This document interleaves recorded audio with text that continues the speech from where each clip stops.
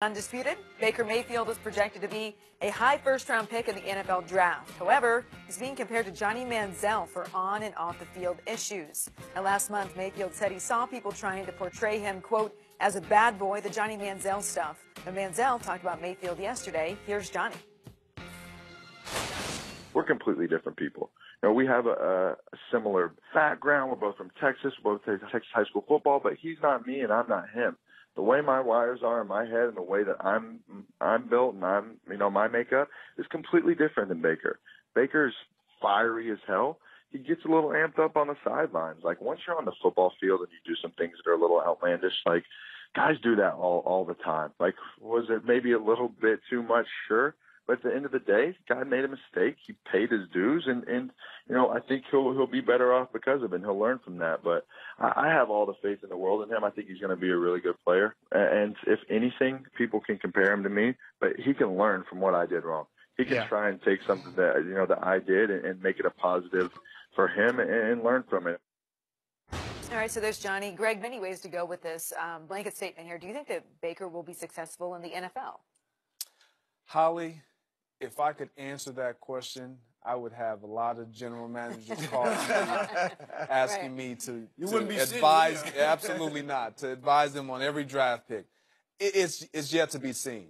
And, and so, with saying that, you draw comparisons. That's the first thing you do when you don't know. You start to draw comparisons and see oh, who is he like, who is he not like.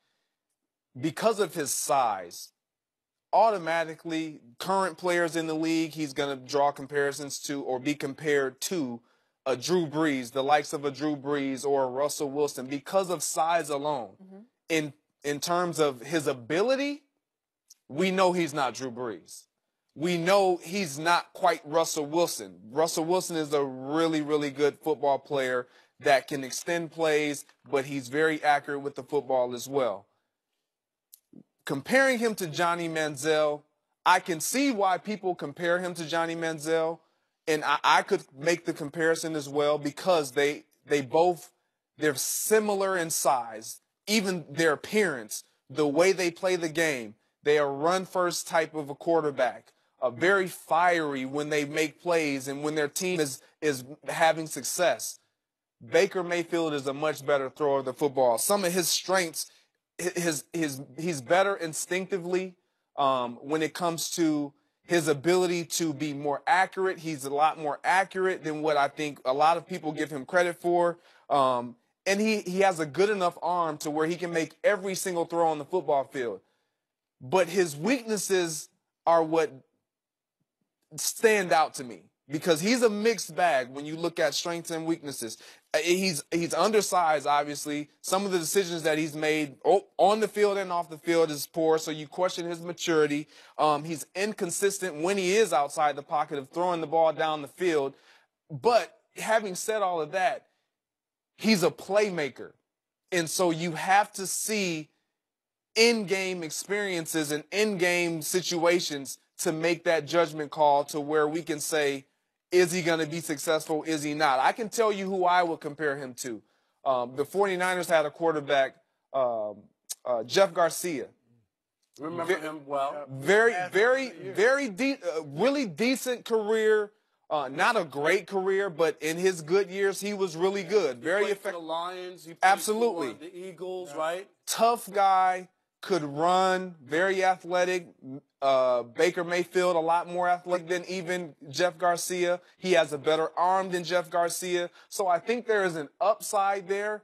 I think he has to calm down on some of the antics. I don't want him to lose it because when you talk about a leader, a quarterback, you want them to be fiery. You want them to be controlled fiery though. You don't want them to show that they, they're uncontrollable with their emotions. So I think that's something he wants, he's going to have to hone in on and focus in on. But as far as playing football, the kid can flat out play. He can flat out play, but college defense and schemes are a lot different than when you're playing in the NFL and you're going against a professional defense, uh, fast flow defensive lines, linebacker levels, and secondary that is has more than one good defender on your number one guy, everybody back there can make plays. So his decision making and all of those things are going to be questioned out the gate because in college, you can scramble, somebody's going to be free, the defense is going to break down, and you're going to make plays if you're a, an elite athlete. And that's what he's been able to do. So it's yet to be seen. Mm-hmm. Um, my hope is that he is successful. We'll see. Like you said, look, we never know. It's so hard to tell with quarterbacks. But if I had to pick the three you did initially, Drew Brees, Russell Wilson, Johnny Manziel, I hate to say it, but I'd say he's going to be closer to Johnny Manziel. Not off the field stuff. Manziel derailed himself with his off the field stuff. On the field, he looked okay, pretty good at times. But I see Mayfield being, yeah, being closer to that than a Brees. Mayfield, we know they're all short, same size. I think I don't think Mayfield has the arm that Drew had. I mean, there's been talk recently about Drew's arm strength. Is it the same? But it was strong earlier. And I don't think I think Mayfield's arm, he's accurate. He can place the ball. I don't think he's that strong armed though. And then you look at Russell Wilson. Russell Wilson, one of his greatest attributes is maturity, leadership. I don't, I, Mayfield was a leader in Oklahoma, I guess, but he doesn't have the maturity that a Russell Wilson had. And Russell Wilson scrambles and can make plays. Wilson run a 4-5 40. They're estimating that Baker Mayfield will run anywhere from 4-7 to 4-9. I don't know with that. I'm not saying you have to be a burner at the quarterback, but is he even going to be able to scramble and make those plays in the NFL that he made in college? And finally, here's the thing. You mentioned the defenses in college versus the NFL. How about the defenses? Let's take it a step further in the Big 12 where they play no defense. There have been, who is the last really good quarterback to come out of the Big 12?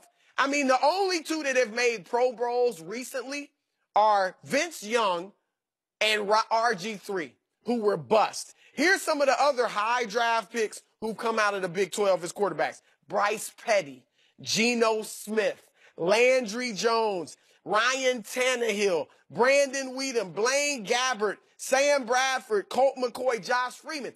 All very good college quarterbacks in the weak defensive Big 12. In the NFL, couldn't do a thing. And so I would bet against him being really highly successful in the NFL. Yep. I, I agree with both you guys that it's so hard to project guys, especially when they're not the prototypical quarterbacks that NFL guys look for. The GMs just look for a size and a height, and you know what I mean? Those are the guys that they normally pick. But I, I can remember the Drew Brees draft very vividly. I was on the radio back then in Detroit, and I remember I wanted the Lions to take him. If you remember, I think he was the first pick in the second round. Mm-hmm. He wasn't even, a, people passed on him strictly because he wasn't tall enough. Yep. Not because he couldn't play or he didn't have a good college career. He had a great career. He did. And, and, and people passed on him out of Purdue. And I remember saying, wow. But uh, Baker Mayfield, uh, in looking up some stuff, his numbers stack up uh, with Russell Wilson as far as college. So so it's not like they're off the charts. If you really go look at his numbers, his numbers are really really good. Mm-hmm. But but I, I, I think general managers have to be careful because I think we saw that with Deshaun Watson. I'm not saying they're the same player, but people discounted what he did in college. You know, like and I, and, I, and sometimes you got to look at guys and say, well, what did he do? Is he a winner? Does he does he make things happen? Do you know what I mean? And take a chance the intangibles, not just the strictly, he doesn't fit our size, he's a little guy, he's not going to be Drew Brees, and you kind of not take him seriously or that he can't make plays. So I understand when people look and say he's not going to be a star in the NFL. I get that. I'm not going to bet against him. I'm going to say he's going to be better than Johnny Manziel. Uh, it all depends. He, he should. I mean, that that's not saying yeah, a whole exactly. lot. No, no, no, no. But I'm saying if he stays in the league, he'll be better than Johnny. It, there's no doubt about it. But I mean, it, it also depends on where you wind up. You know what I mean, and, and the situation you're in.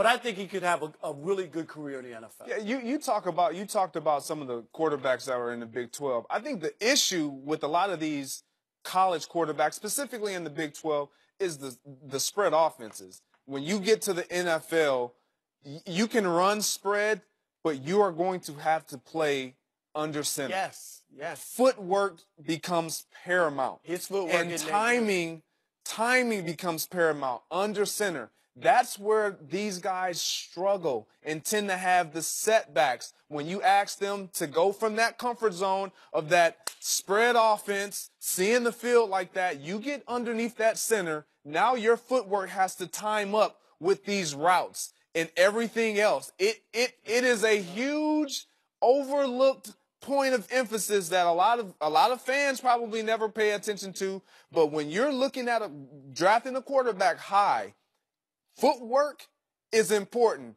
And that's one thing that Baker Mayfield does not have great. Who was the best quarterback you ever played with? Woo! I had a couple, you know, I had one is a Hall of Famer, one is a future first ballot Hall of Famer. So I mean, you can flip a coin. No, I want you to make a pick. Uh, best A-Rod. quarterback I ever played with. Yeah, I, I, I give, I tip the hat to Aaron. Aaron, j- just because of the decision making. I'm just curious. Uh, I mean, You but, knew that. but that's that's neither here nor there, right? But you hit it on the head. His footwork is not good, and, And- that's a tough adjustment. That's a Yeah, great you point. mentioned you mentioned Deshaun Watson. He's I- I'm sold on him right now. But a lot of people weren't though. You're coming right. Out of college, that's all I'm saying is like But he also had But he has- leadership, intangible, right and size. Like field, he yeah. he fit the mold of what you're looking for as an NFL quarterback. When you size matters. I mean, you mentioned it about Drew Brees. You gotta you gotta be able to throw over those defensive linemen, not get your balls knocked down. Right. It, it, it matters. Don't it makes your a balls difference. knocked down. I know. When I That's- said that's- that, that's what we'll end on. When I said that, that didn't really. That's how we'll leave that one. We'll go back to talking about Get your something that we loved, a topic that we loved earlier today. It's a time for Lonzo to speak out against his father. We say yes, 100%, absolutely. What does former NBA All-Star Kenyon Martin say? That's coming up next. Keep it here.